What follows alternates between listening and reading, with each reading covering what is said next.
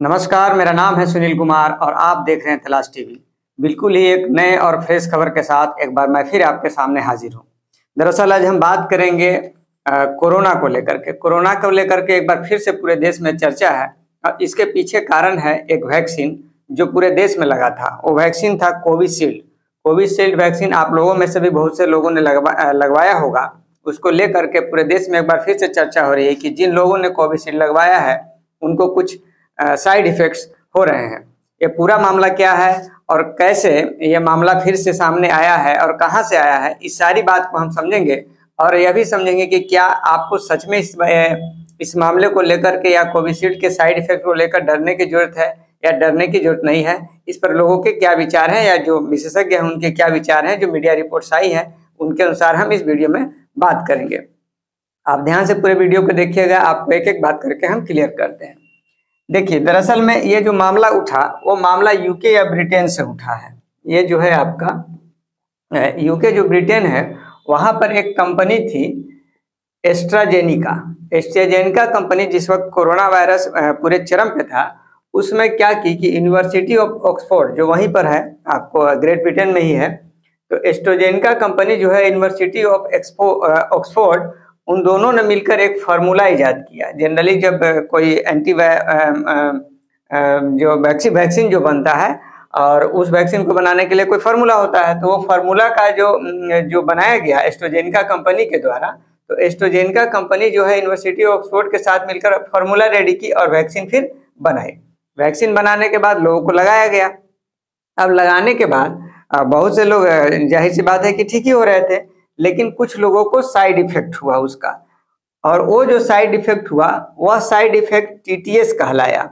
देखिए, टीटीएस जो होता है, टीटीएस अगर किसी को हो तो उसमें आप मोटा मोटी बात ये समझिए, इसके फुल फॉर्म में जाने की ज़रूरत नहीं है। टीटीएस अगर किसी में टीटीएस का लक्षण है तो इसका मतलब है कि उसके शरीर में खून के थक्के जमेंगे। अब खून के थक्के जमने के के चलते कुछ भी हो सकते हैं, जैसे ब्रेन स्ट्रोक का खतरा हो सकता है, हार्ट अटैक का खतरा हो सकता है, या कुछ और तरह के खतरे हो सकते हैं। तो जब खून का थक्का जमना शुरू हुआ तो इस तरह के मामले जब आए तो कुछ लोग कोर्ट में चले गए ब्रिटिश हाई कोर्ट में चले गए और वहाँ जाकर मामला दर्ज कराया। तो वही मामला को लेकर के ज़्यादा चर्चा है। तो सबसे पहले जो है, वहाँ ग्रेट ब्रिटेन में ही वहाँ जो है, यूके जो है, वहाँ पर जेमी स्कॉट नाम के जो वहाँ के नागरिक है उन्होंने कोर्ट में यह मतलब केस दायर किया ब्रिटिश कोर्ट में, ब्रिटिश हाई कोर्ट में उन्होंने केस दायर किया कि भाई जो है, हम जो ये, जो वैक्सीन जो लगवाए थे इसका एस्ट्रेजेनिका का जो वैक्सीन बना था, उसको जो हम लगवाए थे तो उसको हमको ब्रेन उससे मेरा ब्रेन डैमेज हुआ, हमारे में टीटीएस का लक्षण आया था, हमारा ब्रेन डैमेज हो गया और टीटीएस के लक्षण लगातार बरकरार है, जिससे जिससे हम जूझ जूझ रहे हैं। इनके केस करने के बाद वहाँ पर दर्जनों लोगों ने, दूसरे लोगों ने भी यहाँ पर ब्रिटिश हाईकोर्ट में केस किया। अब इस मामले मामले को लेकर भाई ब्रिटिश हाईकोर्ट जब जवाब तलब की इससे एस्ट्रोजेनिका से। तो एस्ट्रोजेनिका का कहना था कि भाई जो है, हम जो है, ऑक्सफोर्ड यूनिवर्सिटी ऑफ़ ऑक्सफोर्ड से मिलकर बनाए हैं और हमने परमिशन लेकर के ही इस वैक्सीन को दिया था और खतरे बहुत कम हैं। ऐसा कह करके अपना जवाब तलब की तो ये मामला आपका ब्रिटेन का था। अब ये जब ब्रिटेन में जब ये मामला आया, टीटीएस वाला तो उसको, उसका जो हल्ला हुआ, वो आपको इंडिया तक या पूरे वर्ल्ड में जहाँ जहाँ कोविशील्ड का फिर अगर ये जो वैक्सीन जो है, वो भेजा गया, या उसके जो फार्मूला भेजा गया उसकी चर्चा हुई। तो जो ये फार्मूला जो बना था एस्ट्रेजेनिका का जो ये फार्मूला बना था तो अब आप भारत में आइए। अब भारत में एक सीरम इंस्टीट्यूट है, और ये कहाँ है? ये पुणे में है आपका। तो पुणे का जो सीरम इंस्टीट्यूट है चूँकि भारत में ये जो वैक्सीन बना नहीं था तो इस फार्मूला को, ये सीरम इंस्टीट्यूट इसको परचेज किया इसको, या इससे ये मांगा कि भाई हमको दीजिए, हमको भी भारत में बना के हम सेल करते हैं। तो अब जो है ये फॉर्मूला मिला किसको? सीरम इंस्टीट्यूट को। सीरम इंस्टीट्यूट इस फॉर्मूला को लेकर के जब यहाँ दवा बनाई तो उसी का नाम कोविशील्ड दिया गया। ये कोविशील्ड का फिगर है, ये आप देख रहे होंगे, ठीक है?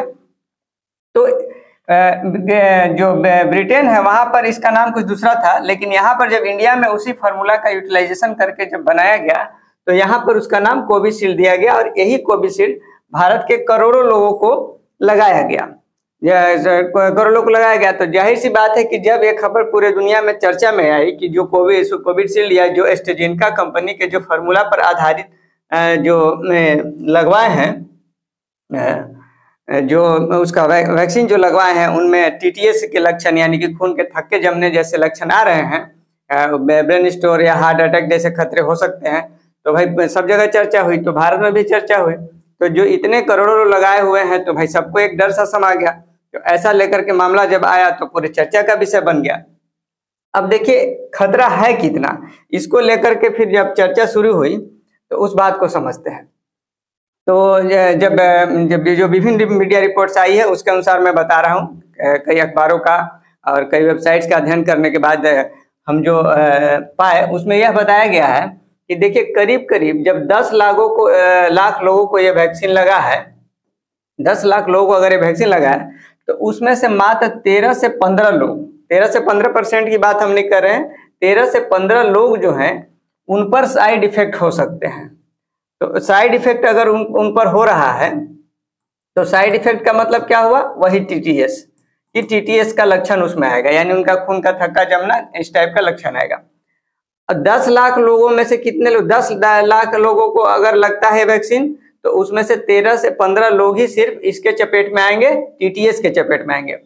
अब तेरह से पंद्रह लोगों का जो नाइन्टी परसेंट तेरह से पंद्रह लोग हैं, इनका जो नाइन्टी परसेंट हिस्सा जो है, जो करीब करीब आपको बारह लोग हो जाएगा तो इसका जो नाइन्टी परसेंट हिस्सा है, वो लोग जो हैं, वो ठीक हो जा रहे हैं। वो सिंपल दवा जिस भी तरह से होता होगा, वो ठीक हो जा रहे हैं।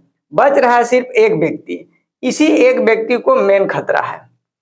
यानी मिला जुला के आप देखिएगा तो दस लाख लोगों में से सिर्फ़ एक व्यक्ति है, जिसको खतरा इतना है कि हो सकता है कि उसकी जान चली जाए।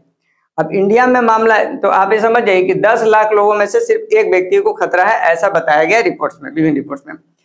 अब आप समझिए कि जो, यह जो एक व्यक्ति है, इसी को लेकर भाई वो एक व्यक्ति कुछ भी हो सकता है, दस लाख लोगों में से। और इतना करोड़ों लोग लगा लगा है तो ज़ाहिर सी बात है कि चर्चा के विषय ये हो गई है कि कहीं हम ही को ना हो जाए वो चीज़।